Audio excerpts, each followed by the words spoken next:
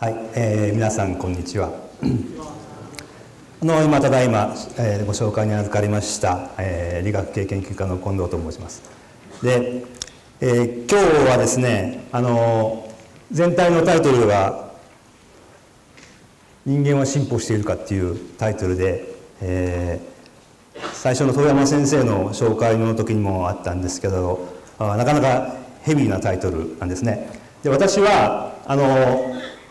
生物科学専攻っていうところにいますけどもあのここに人類学ってありますがあのと自然人類学っていうか形質人類学っていうふうに呼ぶんですがあの、えー、生物学的に見たあの人の進化とか変異とかををやる学問ででその中で特にあの人間の骨ですね骨格の形態を見てその人の進化とかそれから人の変異とかです地域的な変異あるいは時代的な変異あるいは適応なんかを研究しているんです。であので、まあ、タイトルを「人進化から考える人間の進歩」というふうにしました。で何を話そうかというふうにかなり悩んででとりあえず進歩っていうのはイメージとしてはもちろんあるんですけどもあの少し調べようと思って簡単にインターネットでえー、ウィキペディアというのを開くとこういうふうに書かれています。で望ましい方向へ物事や文化文明などが進んでいくことであるとあります。で対義語は逮捕など書いてあります。発展発達また生物学の分野では進化がよく混同されると書いてありますね。ですから、まあ、生物学の進化と進歩っていうのが、まあえっと、よく混同されるという意味なのと思います。ですがまあイメージ通り進歩というのは、えーまあ、文化文明などを中心に言いますけれども望ましい方向に進むということなんですね。でじゃあ進化はウィキペディアで何て書いてあるんですけど非常に短くてですねあの生物の形質が世代を得る中で変化していく現象のことであると一番最初の方に書いてあります。で、えっと、形質、まあ、姿形あるいは先ほどの徳永先生の話にもあったあいろいろな、うんと、病気に対する抵抗性とか全てのものですけども体形から表現されるものがまず世代を得る中で変化していくっていうことが重要になりますね。ですから、えーと、先ほど徳永先生の話の前半の方で、えーえー、ゲノムの変化とか、まあ、遺伝子の変化とかがあを考慮することによって、えー、人類の進化の姿が分かるというような話があったと思いますけどもその進化の生物の進化のためにはだから世代を得るということが重要です。世代を得るためにはその世代をこう通じて伝わっていくものは遺伝子であってゲノムなのでそれが変わっていかないといけないというのがまず一点それからあ世代を交代するってことは、えーまあ、想像すると分かるように、えー、子供を産むわけですね。まあ、人の場合はああオスとメスが大体一夫一夫制なんですけどもそれで子供を産んでどんどん世代を交代あしていくということその中での変化ということになります。ですからそのこちらは望ましい方向ということがついてますけどこちらに書かれて書かれていなくて進化の中にはその今日お話しするのはまあ、望ましい方向に変化していく場合そうでないものがあるということがまず一つのポイントになるかと思います。で、えー、まずはその進化の概略を説明して、えー、本日はあの非常にあの、えー、っとポイントのところをかいつまんで話をしますけれどもこれはえー、っとですね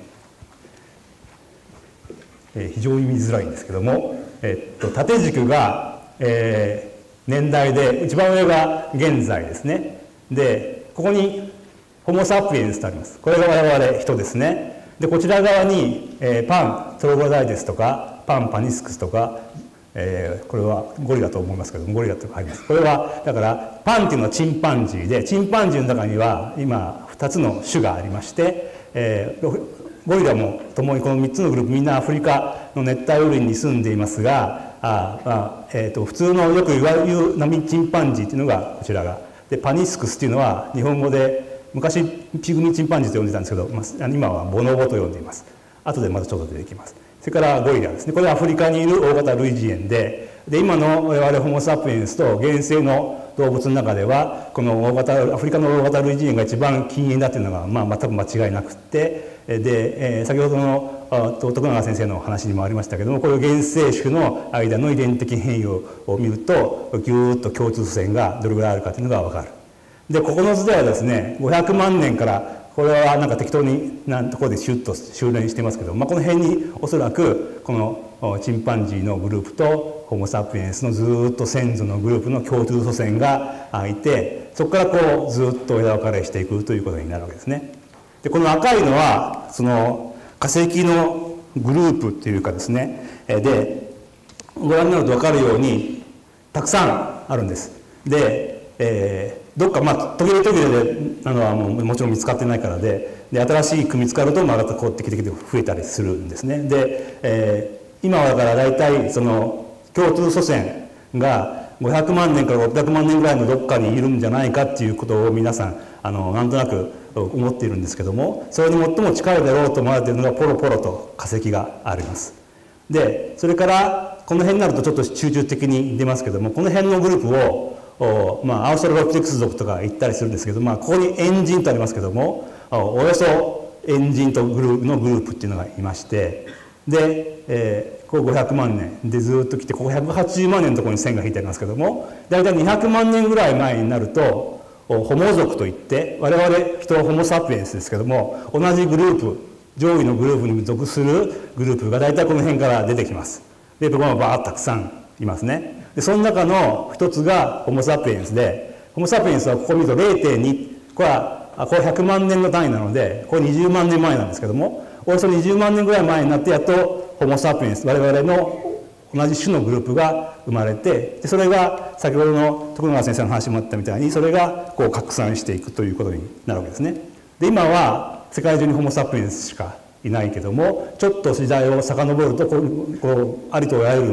るまあ非常にさまざまなですね人類のグループがいたわけでで現生のチンパンジーとピグミーチンパンジーっていうのは、まあ、この辺で枝分かれしてることになってますけどもこういうふうに途中で枝分かれして今も生存しているグループが隣のグループにはいますけども人のグループはホモ・サピエンスだけになってそれ以外のものは途中で消えてしまっているわけですから、まあ、あの簡単に言うと絶滅していったということになるわけです。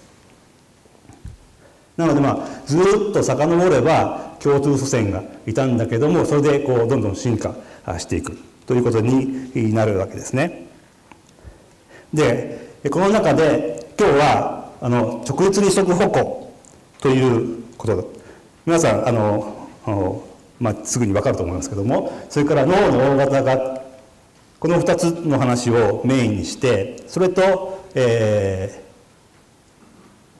まあ、人間の進歩とですね、えー、まあうまく関連づけるかどうかは別としてですね、まあ、一番僕が選んだあの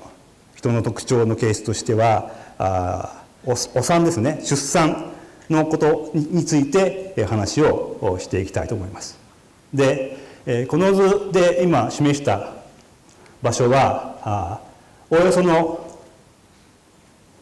発生の時期を示していてで直立二足歩行は人類の進化の中で非常に早くおそらく獲得されています。で、えー、後で出てきますけどもこう440万年ぐらいにこうラミダスエンジンっていうのがいます。で彼らの骨格からはおそらく直立二足歩行しただろうという証拠があります。それからあアウストラロピテクスエンジン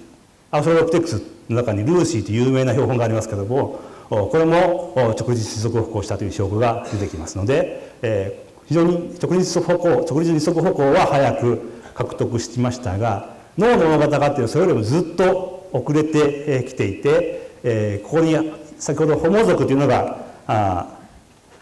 200万年ぐらい前からこう進化したと言いましたけどもそのぐらいの時代にならないと脳の大型化というのは多分始まりません。そういうのはあの、まあ、分かっている多分間違いなく分かっている証拠としてあります。でこれらの2つのことが起こって、ね、おそらくそれと関連して、えーと、人の出産お産の困難さというかですね、まあ、難産と簡単に言いますけどもそういったことがあ生まれてきてでそれがまあ人の特徴の一つのデメリットなんですけどとしてあるあり得るだろうということになります。でえっ、とまあ、今先ほど言ったこう、まあ、進化のプラスの面とマイナスの面っていう話で言えばあ直立走行によって得られたこと脳の大型化によってプラスになったことはたくさんあると思います。ですがマイナスの面もある。で多分おそらくはこの2つのものと関連して、えー、強く負の作用として生まれてきたのがあ難産だというふうに予想ができるわけですねまだ確実にそうだと決め手になっているわけではありませんけども多くの人がそう考えるということに今なっていると思います。で、え直立歩行の話を少ししたいと思いますが、えー、アウサロピテックスそれからあ人それから原生のチンパンジーボノボというものの二足歩行について、えー、ビデオがありますのでえっ、とまあこれはあの骨格をもとに歩行を復元したものですね。一見人と変わらないようにこれルーシーっていう言われているアウストラロピテクス属のものです。でこれはボノボですね、えー、で、えー、アメリカで育ったボノボでカンジっていう非常に有名なもんとボノボ猿があチンパンジーがいましてでまああの研究所で飼ってていろいろものを教えてですね、えー、非常にうまくうんと立ったり歩いたりするっていうのをトレーニングしたっていう猿あチンパンジーがいるんですけども彼の歩き方なんかも後で出てきます。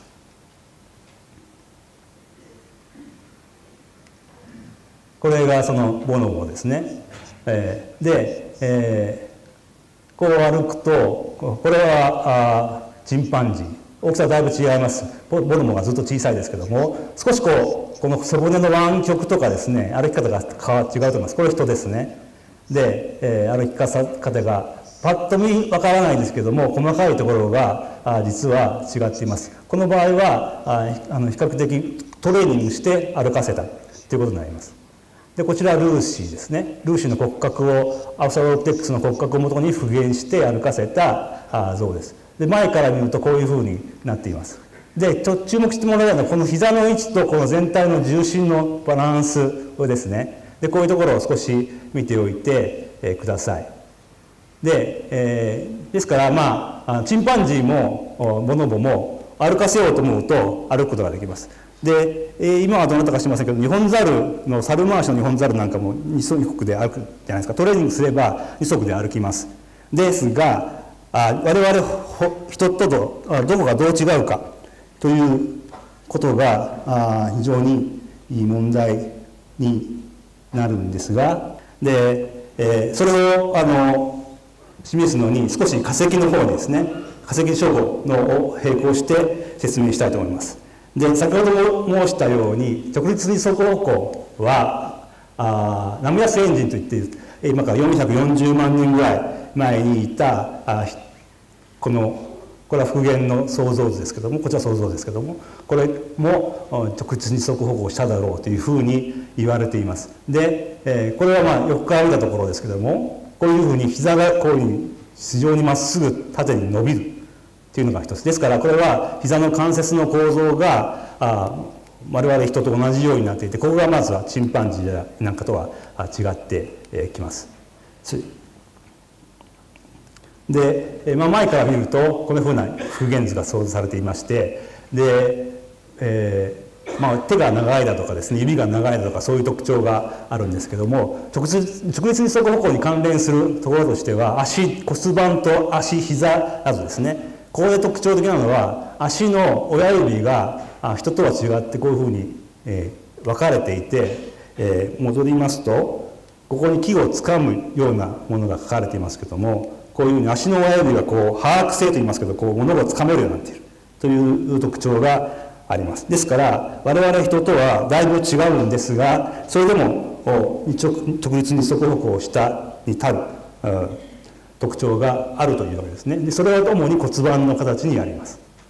でまあラミアスエンジンについて簡単にまとめると440万年ぐらい前に行ってアフリカのソリンといって森林がちょっとまばらになったようなところに住んでいる。身長120センチ体重50キロの容量はチンパンジーと同じぐらいしかありません。で地上では直立に足歩行していただろう。ところが足は把握性があってでおそらく木にも登れたということです。ところがあ普通の猿のようにこう腕渡りをするようなものではなくておそらくこう木にこうしがみついて登るそういうようなタイプの適応をしていたというふうに考えられています。それからそういったソリの中のナッツとか昆虫とか小動物を食べていたというふうに考えられています。で、えー、次に、えー、実際に骨の形と骨盤の形骨盤の形ですね骨盤の形と直立二足歩行について説明をしておきますが、えー、これは、えー、一番右側がルーシーでアウスラロピテックスエンジンですで真ん中が我々ホモ・サピエンスです。で一番左側がチンパンジーのもので骨盤をこれは前から見てこちら上から見ているところですね。で、えー、かなりここで形が違うというのは分かると思います。チンパンジーは骨盤の腸骨力と言いますけどもここの部分が非常に前から見ると前後に長い。でここの間に、えー、仙骨と骨があってここが上に背骨がつながります。ですから体重はずっとここから来てここでこう左右に分かれて足の骨にこう伝わっていきます。でここの背骨と骨盤がつながる関節と股関節のところがこういうふうに上下に高いっていうことは非常に立った時にこのまま立ったら立った場合に安定性が悪いということになります。でホモ族やアーソロプテックスはここが前から見た時短いですね。そういったあまあ、えー、立った時の姿勢の安定性に寄与するような構造があります。上から見たところでも非常に特徴的なのがここのこの、まあ、腸骨力と呼ばれてこの骨の部分が上から見ると一直線になります。でホモ族ホモ族というか、まあ、我々人やあアーサロプテックスの場合はこういうふうにギュッと湾曲します。これは一体何を意味するか。というとここはこの前後にですね必ず筋肉がついて後ろ側には電筋群といってお尻の筋肉がつきます。でこれがまあチンパンジーの場合はここに電筋群つきますが人の場合はここ横から後ろにギュッとつきますね。それからこれがまあアーソロデックスも横から後ろにつくということになります。そうすると股関節がここにあって大体この上の位置だとこの辺にこう来ますけども股関節に対するこの電筋群の力の向きがチンパンジーと我々人やアーソロピテクスでは違うということになる。でこれを意味しているのがこの筋肉ですねで電筋群のうちにこの比較的外側外側についている筋肉中殿筋とか小殿筋という筋肉があって筋肉の種類自体はチンパンジーも人もおそらくアスロレプティクスも変わらないと思いますがこういうふうに骨の形が変わることによって、え股関節に対する力の向きが変わります。でこれは何を意味するかっていうのは研究分かっていまして、え直立二足歩行で歩く時に必ず歩行している時には片足支持期といって片足になる時期が必ず生じます。でその時の左右のバランスを取るのに、えー、ここの先ほど言った外側の筋肉が使われるということが分かっています。で、えー、その筋肉を一体どれぐらい骨の形によってどういうふうに違うのかということが、まあ、研究されていましてこの図は例えばこれは右足で立って左足を宙に浮いた状態で考えると体の重心線というのは中心から少し外れて体重の6分のぐらいのものがこの辺の位置にかかるそれをこの2つの股関節の位置と先ほどの筋肉で支えるためにどういう割合でここのこの F という力がかかればいいかということを計算する、まあ、この辺の角度を形によって計算すればそれが簡単な式で出るんですけどもそういった研究がされています。でアーサロプテックスに関してそういった片足支持器の釣り合い条件を計算するとアーサルロピテックスとこれはアメリカインディアンだと思いますけどもアメリカインディアンの形から出した力の計算ですけどほとんど同じですね。ですからアーサローテックスにかかる、えーと、股関節にかかる片足七軸の時の力と人のものはほとんど変わらないのであの形形が上から見ると少し違いますけども股関節にかかる形力自身はほとんど同じなので左右バランスを取るように形が変化しているんだというふうに理解がされているですので骨盤の形を見ると直立二足歩行しているかどうかということが分かるということになります。というふうに、まあ、直立二足歩行は比較的早い段階ですね。ですから、まあ、400万年だったり300万年のエンジンと言われているアーストロテックスの段階にすでにあったというわけなんですけどもじゃあそれが一体どういうふうなあ理由が付けがされているかというとこれ様々なんです。でどれが正しいかというのは議論議論百出でですね、えー、なかなか難しいんですけども立つと見晴らしが良くなるからいいんだとか菜食時の手の使用これ非常に古くからある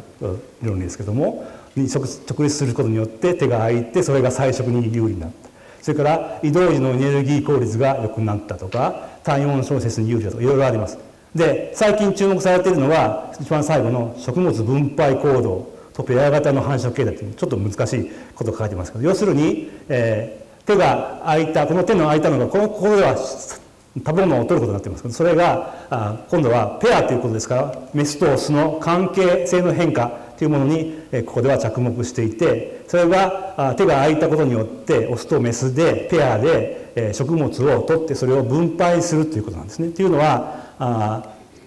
要するに、えーと、オスとメスが、まあ、子供を作ってそれが、まあえーと、世代を得て進化の原動力になるんですけどもその時のオスとメスの関係性っていうのがあよりこんなことで語弊になるんですけども一夫一夫制に近いようなものに進化していって協力行動のようなことがもう起こっていたんじゃないかということになるわけです。まあ、これが正しいとするとこれは直接的にその繁殖戦略で子供を産むというものを直接作用するのででかなり有利な特徴になるだろうということになるんですが残念ながらま完全に証明されたわけではありません。で負の遺産としてもたくさんあります。で、えーまあ時間もないのであの全部は説明しませんけれども、えー、高血圧や心臓病から腰痛ですね。あの私も最近ちょっと腰痛ですけどもあの皆さん経験があると思います。で腰痛の多分原因としては非常に直立二足歩行というのはよく言われていることですね。それから鼠径ヘルニアから扁平足などのあ、まあ、一種の形態異常なんかも直立足に関連するだろうと言われてそれからあ、まあ、難産ということです。でこれは、まあ、これから今度この話題に入りたいと思います。でその前に、えーえっと、脳の大型化という話をしたいと思います。で、えー、直立二足歩行と並んで人の進化の中で、えー、最も古くから注目されてきたのは脳の大型化ですね。で脳が大きくなって、えー、文化を持ってえー、文明を発達させていくっていう、まあ、誰でも考えるストーリーです。ですがそのここで見て分かるように脳の大型化というのはあ進化の中ではあ後で皇室です。えー、後になってから脳型化が始まってき、えー、ています。でこの図は、えー、これが時代で、えー、これミリオンイヤーで、えー、50万年150万年250万年350万年前です。でこれ縦軸は脳の脳容量というものを推定して、出しています。でこの青いのはエンジンですね。アウストロピテックスのものです、えー、ここは350万年からずっとありますがちょっとしか増えません。でここから色が変わります。ここからホモ族です。でホモ族が生まれてからあおよそ、まあ、ここでは170万人ぐらいになってますけどもうちょっと前から言いますがあずっと脳容量はどんどん拡大していってでホモ・サピエンスに、えー、つながりますで最後の方でこう少しこう減ったりしてるのは、まあ、今回ちょっと、えー、話は省略させていただきますけども少なくとも、えー、脳が大型化していったのはエンジン段階ではなくていわゆる原人と呼ばれているホモ族以降の段階になってから生まれて脳が大型化していくこれは明らかなんですね。でこれが何と関連するか一番我々がえ、それらしいというふうに言われてきた説は、え、やっぱり文化的なものです。で、え、石器が生まれたのはあアフリカで一番古い石器今250万年ぐらいだと言われています。でこの頃に、えー、ホモ族がいたかというとちょっとクエスチョンですけども200万年よりちょっと古い時代にホモ族が生まれたと言われています。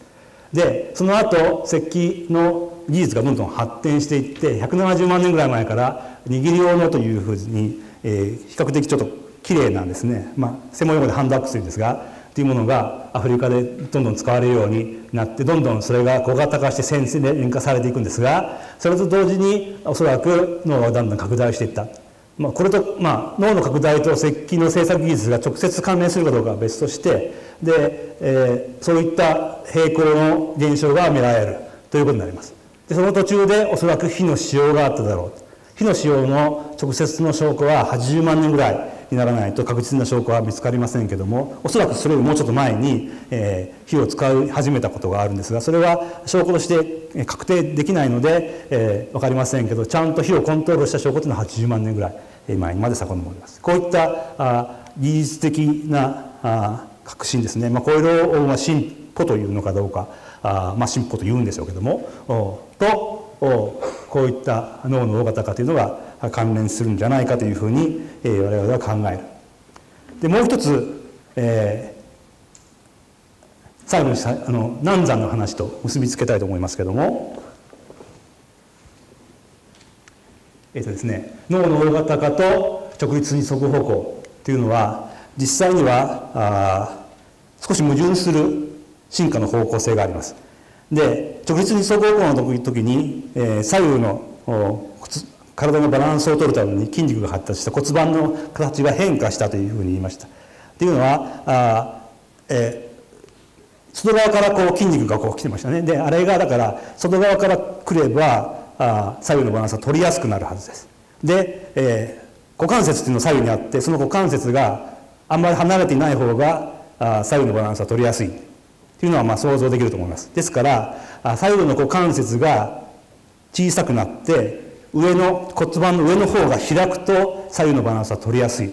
ですがそういうふうに上に開いて下にすぼまった形を極端にすると女性のここの参道というのがどんどん小さくなります。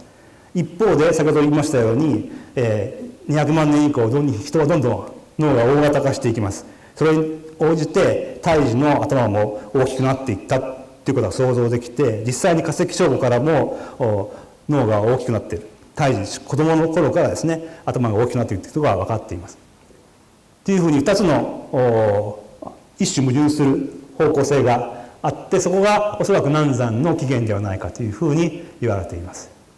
でこれはまあネアンデルタール人求人ですねずっと最近の話ですけどもそれの出産の復元ですこれ後でまた出てきますで人の出産について、えー、少し話をしてで関連を付けたいと思うんですけどもこの話は、えー、レジュメの方にも書か、まあ、書きましたけども、まあ、こういう人はなぜ何座なのかっていう本があります。えー、2012年なのかな？に出ていましてでこれを読まれるとですね、えー、分かるので興味のある人は読んでください。で私は専門ではないんですけどもその歴史時代実際の出産に関するそういった歴史的なものも踏まえて、書かれています。でじゃあ人の出産は難産っていうのは皆さんご存知の通りでありましてで分娩時間は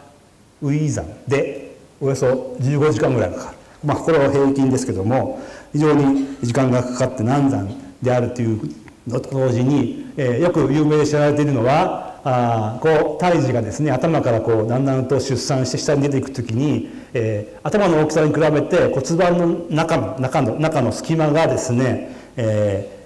ー、形があ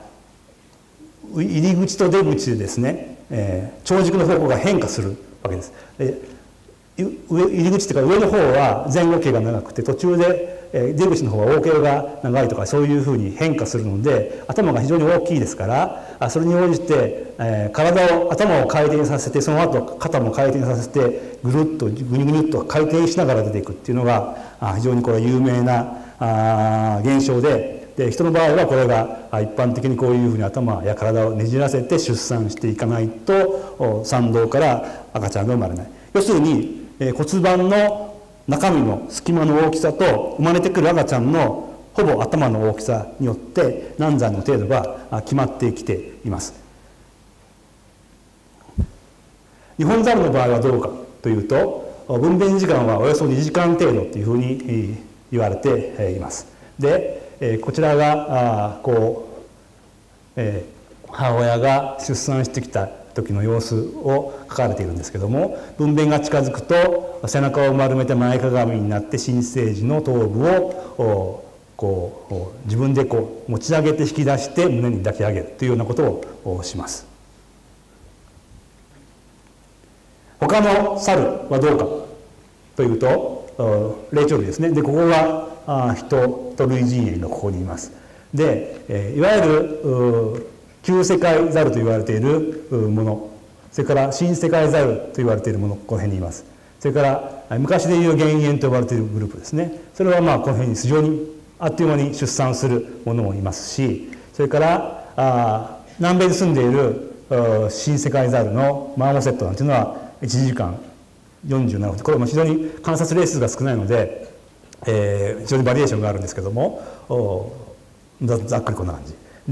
先ほど言ったみたいに、まあえっと、日本ザルは、まあ、2時間程度。でチンパンジーはちょっと長くて6時間程度かかるというようなあ観察結果があります。しかしまああ人に比べると出産時間はずっと短く済んでいる。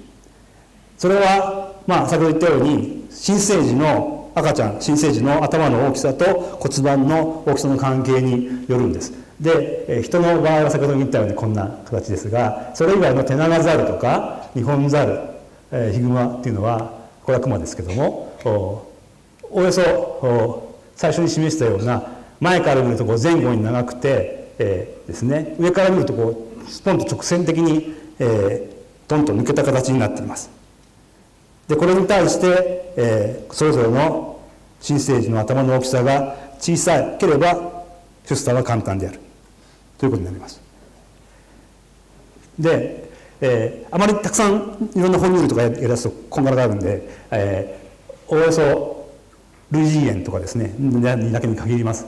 でこれはあチンパンジーアウサロプテクス人を比べています。こちらがチンパンジーで真ん中がアウサロプテクスのルーシーの復元像とそのアウサロプテクスの子供。それからこちらが人の場合ですね。で上から見た、えーえっと、下から見てるんですけどもこちらが出産する時にだんだん赤ん坊が上から下にこう降りてくるように書かれています。それを下から見てるんですね。でチンパンジーの場合はずっと出産する時にこう隙間がずっと空いていますのでそれほど苦労なく出てこられる。で頭の向きもほぼ変化がなく出てきます。で人の場合は先ほど言ったように入り口の部分と出口の部分で、えー、非常に頭の大きさがギリギリなのでうまく出るためにこう途中で回転してくるということが分かっています。でアウトラリアテクス残価はどうかというとちゃんと骨盤と赤ちゃんの頭の骨が復元できるものっていうのは非常に少ないので、えー、かなり推定が混ざるのですがあ形としては入り口が非常に横に長い。これは人と違うんです。人は縦に長いんですがこのアストラビックスの横に長い。でそのままずっと来ていて実は赤ん坊の頭は回転しないで出てくるんじゃないかという推定がされてきています。ですのでまあ出産としてはアストラビテクスなんかはそれほど難しくないだろうというふうに推定されてきた。じゃあ人類の進化の中でいつ頃に難産になったかということを調べる。ために他の化石との骨盤と赤ちゃんの頭の復元像からどういうことが分かるかということをやった研究があります。ですから脳のサイズと骨盤のサイズというものを比較するということになります。で、えー、比較するのは大人の骨盤のサイズと新生児の頭の大きさですから新生児っていうのはあ人でもチンパンジーもそうですけども生まれた時はものすごい成長段階になります。どんどんどんどん頭の骨が大きくなりますのでうまくちゃんと生まれた瞬間を推定しないといけないので実際には脳の成長パターンをちゃんとわから知らないとこういった研究はできません。でそれは結局はそのここには生殖戦略と書きましたけども成長のパターンを知るということはその生物であったり、まあ、この場合はネアンデルタール人なんですがそれのライフ生活史、まあ、英語でライフヒストリーというんですけどもそれを知ることにつながります。で生活史っていうのは、まあ、どういうことかというと、えー、要するに子供生まれた時期は、えー、猿の場合はまあ乳児とか言いますね人でも同じなんですけども、えー、ミルクを飲む時代乳児その後に子供の時代があってで成長期があって大人になっていくというパターンとなります。で、ですがまあ人の場合は子供期があったり思春期があったりするんですけどもチンパンジーはそれがこう長さがそれぞれちょっと変わるんですね。で一生の間にどれぐらいそういった成長期があったり、えー、っとミルクを飲んでる時間があったりするかっていうのを調べるのが、まあ、こういう生活史の研究なんですがチンパンジーと人を比べると分かんないです えっと右は寿命ですね、えー、これを見ればいいのか。で大体もすごい大雑把な数字ですけどもチンパンジー45歳ぐらい平均で寿命があって人が70歳ぐらいだったととすると女性の出産年齢というのはこういう11.5歳19.3歳ぐらいなんです。で、えー第一大休止の放出っていうのは大体子供の時期の始まりを意味します。第一大休止が入ると硬いものが食べられるようになって、えー、少し大人に近くなるというか大人と同じようなものが食べられるようになる。でその前はあ違ってそのいわゆる離乳食をもらったりですねっていうようなふうに、えー、考えることができますけども、まあ、そういった第一大休止の入る時期は4歳6歳という違いがあります。でここで注目してほしいのはチンパンジーは離乳が4歳。でホモ・サピエンス我々人はこれは現代人と違っていわゆる狩猟採集民のデータですけども2.5歳ぐらいまで、えー、父を飲んでいます。あ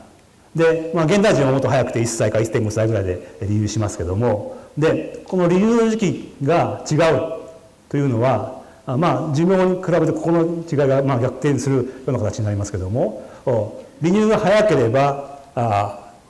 どんどん子供が産むわけですね、まあ、お乳をあげてる間は妊娠なかなかできませんからそうすると人の場合は2.5年のサイクルで子供が生まれる。チンパンジーは4年待たないと。4年にあの父をあげてますからあそれを父をあげてる間は新しい、えー、子供が産めません、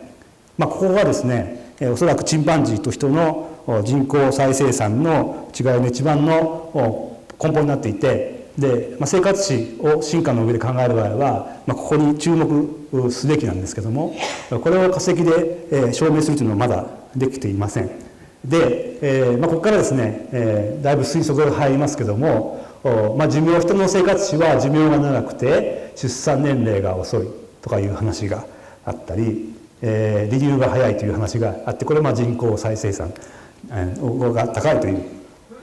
ことを意味していることは今お話ししたところです。でこれを、えーと、脳の大きさの成長パターンと比較して議論をするということになります。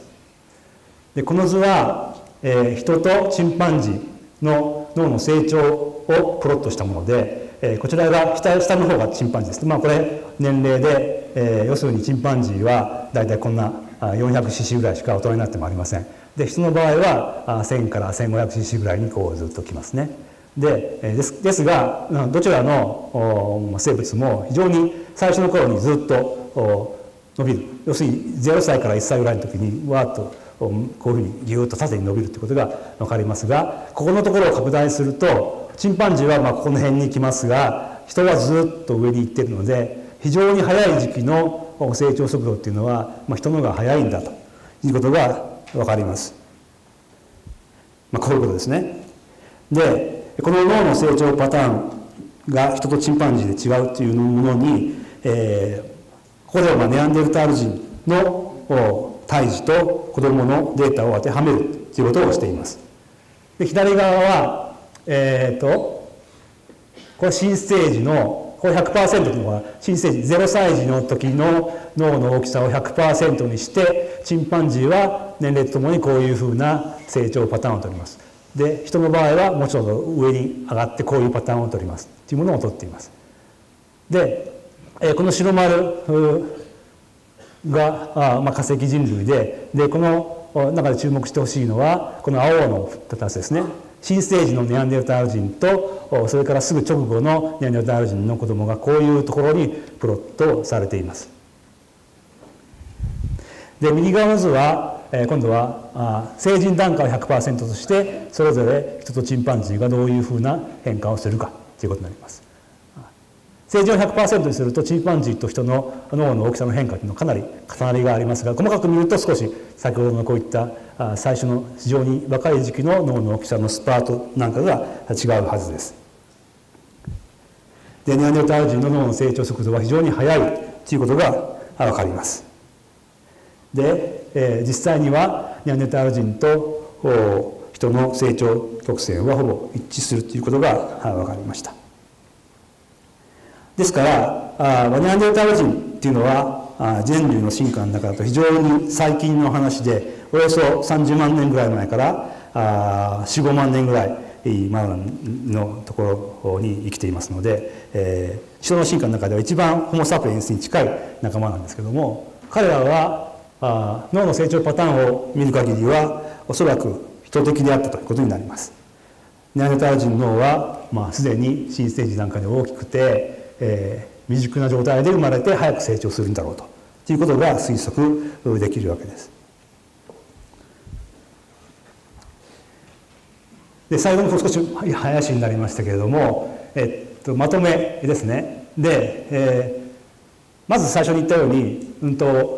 進化はあ、まあ、望ましい変化ばかりではないということがまず重要です。でおそらくこれは、えっとまあ、進化人の生物人に限らず生物が進化するためには、まあ、世代を超えていくっていうことが必要なので必ずそれはゲノム上になのゲノム上の変化が伴います。でゲノム上の変化というのは一番最初にはランダムに起きますのでそのランダムに起きたゲノム上の変化に伴っていわゆる姿形が変わるその姿形がその時時生きていった時の環境であったり病原菌への対抗性であったりそういったものにどれだけフィットするかしないかということなのでそれは多分に偶然なことによるわけですね。ですからそれによって伴うマイナスな面というのが必ずあるんだということが重要です。で特に、えー、難産ですねここで今回お話したのはこういった難あの難産ですけども直立足歩行と脳の大型化に関連する負の遺産であろうということになります。で、えーまあ、ここからは非常に私の想像というかですねになってしまうんですがあ難産というのは要するに人の進化の中で抱えてきた負の遺産ですけれども現代社会ではそれを克服するための技術がいろいろと、まあ、進歩してるわけですね。で、それは、まあ、一概に言えば医学的なものが中心になります。でそれによって克服してきたわけですが進化的に人の進化的に見ればそれは本来は死すべき死んでしまうような命を、まあ、関わることになっている。で最初の、まあ、イントロにあったような例えば目的であったり、えー、進化や進歩の目的ということを考えればあ生まれてきた命を多く救うという目的のために、えーえー、医学的な進歩があるわけなんですけども生物学的な進化的にはじゃあ本来はそれは死ぬべき運命であったはずだということになるわけですね。でそれを考えると、まあ、人の進化と人間の進歩というのは必ずしも同じような考え方ではなくて、えーまあ、相入れない矛盾する側面があるということも常に考えておく必要があるんだと思います。私の話はこれで以上で終わりたいと思います。ありがとうございました。